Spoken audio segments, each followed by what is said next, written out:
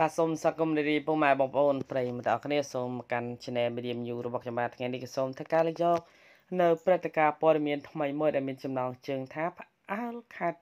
កំពង់ធំ ដោយសារមូលហេតុបែបនេះសោះទើបក្នុងកម្មវិធីមង្គលការមួយមានកូនកំឡោះកូនក្រមុំដល់ទៅ2គូ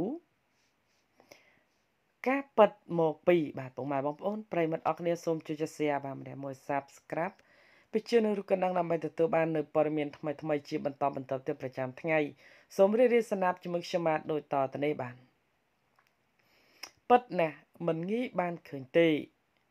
នៅក្នុងប្រទេសកម្ពុជាដោយនៅក្នុងកម្មវិធីមង្គលការមួយកូនកំឡោះកូនក្រមុំរៀបការដល់ទៅពីគូឯណោះ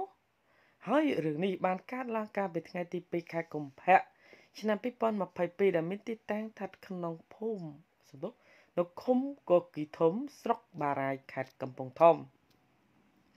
យ៉ាងណាមិញនេះបើយោងតាមការរៀបរាប់ឲ្យដឹងបន្ថែមពីម្ចាស់ Facebook ឈ្មោះឈីតសម្បូរ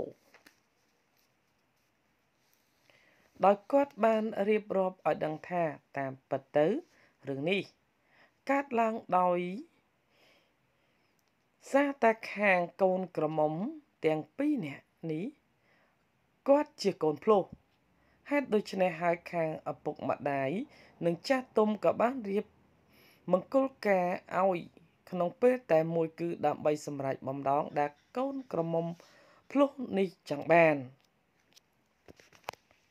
ជាមួយគ្នានេះដែររៀបចំមង្គលការនេះបានធ្វើឡើងនៅក្នុងឃុំកគីធំ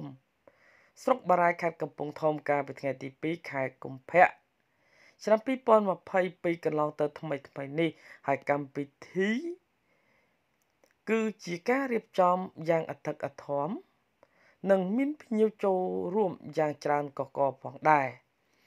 បាទពុកម៉ែបងប្អូនប្រិមិត្តអរគ្នាបាទជាចូលចប់នៃព័ត៌មាននេះរកកំហុស ខុសឆ្គងទាំងឡាយឬក៏មានពាក្យបាទលើលើខ្វះខាតចំណុចណាមួយនៃការអានព័ត៌មានទាំងស្រុងនោះក៏សូមមេត្តាខន្តីនិងអភ័យទោសផងបាទសូមអរគុណសូមជម្រាបលាបាទ